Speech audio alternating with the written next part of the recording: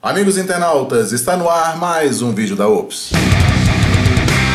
Em novembro do ano passado, nós aqui da OPS denunciamos o deputado federal Zeca Cavalcante no Ministério Público porque ele utilizou o dinheiro público da maldita verba indenizatória de maneira bastante questionável. Bom, se você não se lembra do caso, eu vou relembrar aqui rapidamente.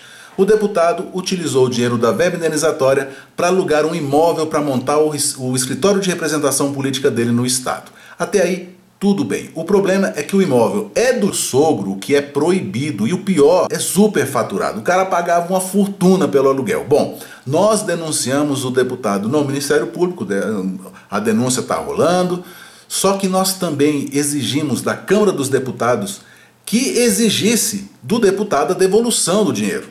E eu recebi esta semana um e-mail da Câmara dizendo que, olha, nós verificamos e de fato o deputado tem que devolver R$ 66.500 e ele já foi intimado a devolver.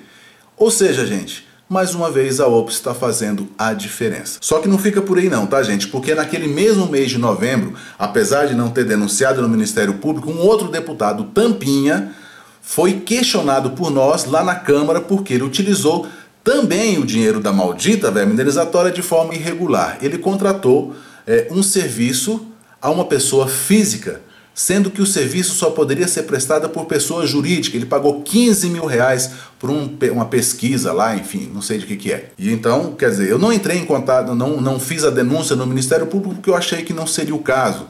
Mas entrei em contato com a Câmara e falei, olha, o cara utilizou de forma indevida. E a Câmara também já acatou e me mandou um e-mail juntamente com esse e-mail do Zeca Cavalcante dizendo, olha, o deputado já foi notificado, ele vai ter que devolver os 15 mil reais. Ou seja, meu amigo, mais 81.500 reais retornarão aos cofres públicos.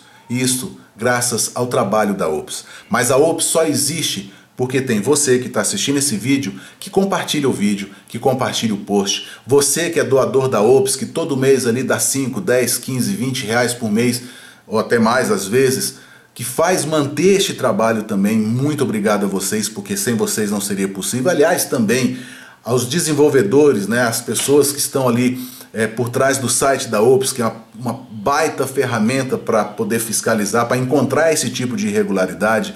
As pessoas que desenvolveram o aplicativo estão desenvolvendo um novo aplicativo, sabe?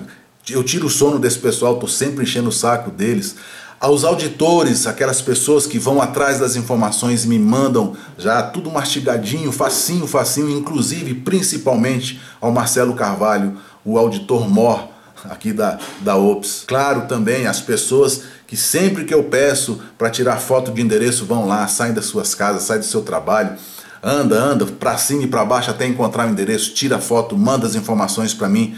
Nada disso, gente. Os 81.500 reais que vão voltar agora aos cofres públicos e mais os 5 milhões e meio que já voltaram.